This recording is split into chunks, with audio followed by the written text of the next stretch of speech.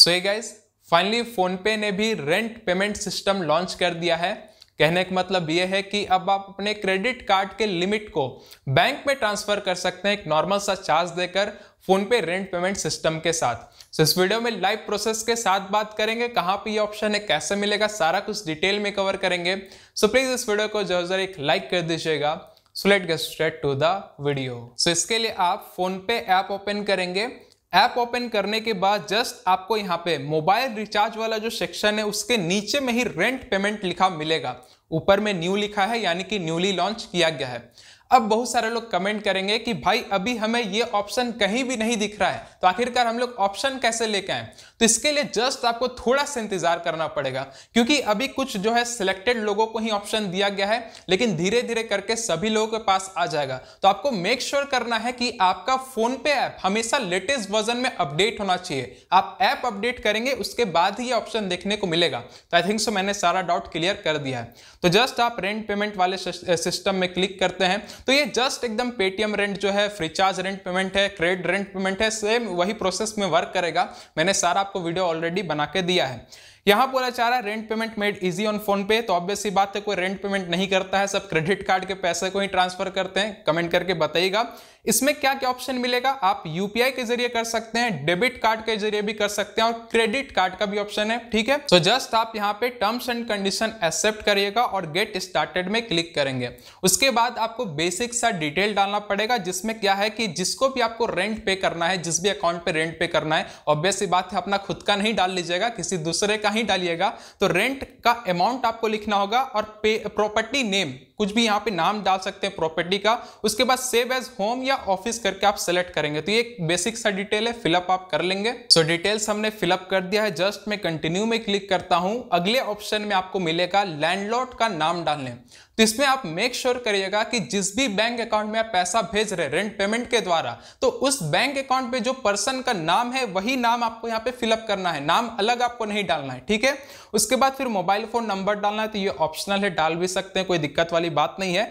अब ऑप्शन मिलेगा कि आपको बैंक अकाउंट पे ट्रांसफ़र करना है उनका या add a UPI ID UPI से भी ट्रांसफ़र हो जाएगा। तो just add a bank account में क्लिक करेंगे तो आप यहाँ पे एड बेनिफिशियरी में आप यहाँ पे कुछ भी बैंक अकाउंट अपना जो भी होगा सेलेक्ट कर लीजिएगा। उसके बाद यूपीआई में भेजना है तो यूपीआई आप सेलेक्ट कर सकते हैं। तो चलिए मैं थोड़ा डिटेल्स फिलअप करके अगला ऑप्शन आपको दिखाता हूँ। सो डिटेल्स मैंने फिलअप कर दिया है, नाम डाल दिया, उसके बाद फिर बैंक अकाउंट भी यहाँ पे सेलेक्ट करके एड कर लिया हूँ। जस्ट मैं यहाँ पे कंफर्म में क्लिक करता हूँ। तो यहाँ पे ऑप्शन मिलेगा कि आप क्रेडिट कार्ड से करना चाहते हैं डेबिट कार्ड से या यूपीआई आईडी से करना चाहते हैं तो ऑब्वियस सी बात है, बहुत सारे लोग क्रेडिट कार्ड ही सेलेक्ट करेंगे, क्योंकि उनको तो इनडायरेक्टली पैसा ट्रांसफ़र करना है।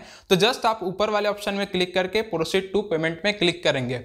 अब यहाँ पे आपको ध्यान देना है कि कितना चार्ज लगेगा आखिरकार ट्रांसफ़र करने में। मैं सारा एकदम डिटेल में आपको समझा देता हूँ ताकि कोई भी आपको डाउट यहाँ पे नहीं रहे। सो so, थोड़ा ध्यान लगाकर समझिएगा अगर मैं डेबिट कार्ड से यहाँ पे पेमेंट करूँगा तो यहाँ पे मुझे seventy five rupees plus GST यहाँ पे देना पड़ेगा। क्लियरली लिखा है convenience fees seventy five rupees plus GST देना पड़ेगा।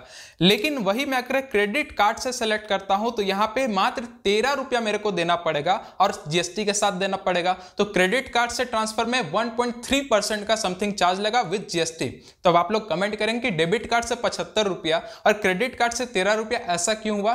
तो देखिए, अब मैं आपको डिटेल में समझाता हूँ। यहाँ पे मैंने एक हज़ार अमाउंट लिखा, यानी कि एक हज़ार ट्रांसफ़र करना है तो उस बेसिस पे दिखाया मुझे।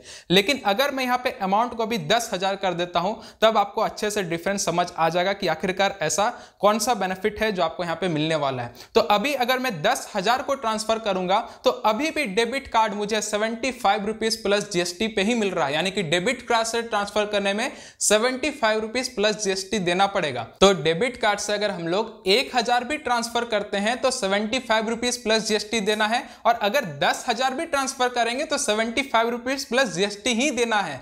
लेकिन अगर हम लोग जहाँ क्रेडिट कार्ड सेलेक्ट कर लेते हैं तो आपको जो है पूरे अमाउंट पे 1.3 परसेंट का चार्ज विथ जीएसटी यहाँ पे देना पड़ेगा। तो देखिए, यहाँ पे क्रेडिट कार्ड में समथिंग दस हज़ार ट्रांसफ़र करने करने का एक सौ तीस रुपया प्लस जीएसटी देना पड़ा, यानी कि 1.3 परसेंट का चार्ज विथ जीएसटी यहाँ पे लग गया। तो ये डिफरेंस है। अगर डेबिट कार्ड से तो ऑब्वियस बात है कोई भी नहीं करेगा। तो डेबिट कार्ड में कोई भी अमाउंट सेंड करिए, यानी पेमेंट करिए तो सेवेंटी फाइव प्लस जीएसटी ही देना है। लेकिन जहाँ आप क्रेडिट कार्ड सेलेक्ट करते हैं तो आपको 1.3 परसेंट प्लस जीएसटी यहाँ पे देना पड़ेगा। तो ये मैंने आपको एग्जांपल के साथ दिखा दिया। जस्ट आप क्रेडिट कार्ड का नंबर डालेंगे मेक रेंट पे क्लिक करेंगे तो डायरेक्टली जो है विद इन ट्वेंटी आवर के अंदर जो है लैंडलॉर्ड के अकाउंट पे पैसा क्रेडिट हो जाएगा, जो कि आप लोग credit card to bank transfer में यूज़ करने वाले हैं।